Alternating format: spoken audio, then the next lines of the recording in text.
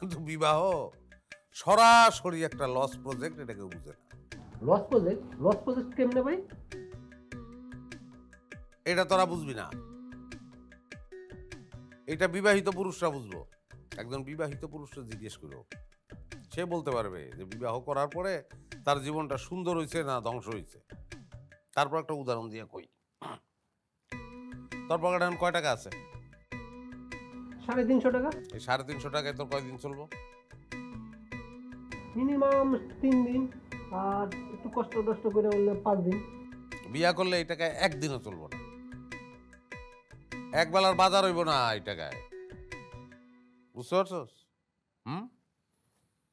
তারপরে মনে কর নানান ধরনের অনুষ্ঠান আছে বিবাহিত জীবনে। এবং সেগুলো পালন করতে হয়। হ্যাঁ শ্বশুরবাড়ি যাওয়া শ্বশুরবাড়ি থেকে মেহমান আসা ঈদ কারও পূজা কোনো জায়গায় দাওয়াত খাইতে যাওয়া সব কিছু যদি ধরো তাহলে লাখ লাখ টাকা চলে যাব। এখন সাড়ে তিনশো টাকা দিয়ে জীবন চালানো ভালো? নাকি লাখ লাখ টাকা খরচ করেন ভালো? কোনটা ভালো? হ্যাঁ তাছাড়া বউ জিনিসটা একটা সমস্যা রে। কই তুমি? এই তো ক্লাবে। বাসায় আসা লাগবো না? হ্যাঁ লাগবো না কেন? লাগবো তো। রাত সাড়ে দশটা বাজে। এখনও তোর বাসায় আসার খবর নাই। দশ মিনিটের মধ্যে বাসায় ঢুক না কিন্তু খবর আছে একদম।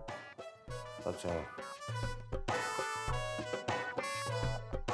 না না ভাই। আপনি আসছেন আমি এখন ক্লাবে থাকব নাকি? কতদিন পরে আপনার সঙ্গে দেখা হইব? আমি চলে আসতেছি ভাই। অসুবিধা নাই। ম্যাক্সিমাম দশ মিনিট লাগবে। হ্যাঁ হ্যাঁ হ্যাঁ, দশ মিনিটের মধ্যে আসছি। হ্যাঁ ঠিক আছে ভাই। সালাম আলাইকুম। তগো মেহমান আইছে। বাসায় মেহমান আছে তোকে ভাবি তো আবার যখন তখন আমার ফোন দিতে সাহস পায় না। এই জন্য মেহমানেই ফোন দিতে তা যাই। ভাই আপনি যে ভাবিরে বিয়ে করছেন আপনি কি আসলে মনে করেন যে কইতে পারেন যে ভাবিরে বিয়ে করে আপনি কি ঠকছেন না জিতছেন আমি কেটা আপনি তো ভাই আমাকে ভাই টাইগার ভাই। হ্যাঁ টাইগার জহি আমার বউ আমার সঙ্গে কথা কওয়ার আগে একশো বার হিসাব করে। নিজে নিজে হিসাব করে তারপরে আমার লগে কথা কয়। ওই রকম ডরায়। তো ব্যাপারটা হচ্ছে ওই রকম পুরুষ হইলে এরকম হইতে হইব স্বামী হইলে এরকম হইতে হইব। বউ জানি ডরায়। যাই হোক তারপরে তোমাদের প্রতি আমার উপদেশ বিয়েটা করার দরকার নাই। হুম, কারণ এই জিনিস তোমরা সামলাতে পারবে না। সবাই তো আর টাইগার জহিন না। গেলাম ওয়ালাইকুম আসসালাম। আমি বিয়া করুম না। বিয়া মানে জীবন নষ্ট সময় নষ্ট টাকা নষ্ট শরীর নষ্ট ঘুম নষ্ট আমি বিয়া করুম না। শোন ভাই কয়ে গেল আর তোরা যে কইতে আছো। এই ভাই যে ব্যাগ রেখে গেছে। ওহো ভাই তো মানি ব্যাগ রেখে এক কাজ করি আমি যে মানি ব্যাগটা বিয়াই ঠিক আছে? না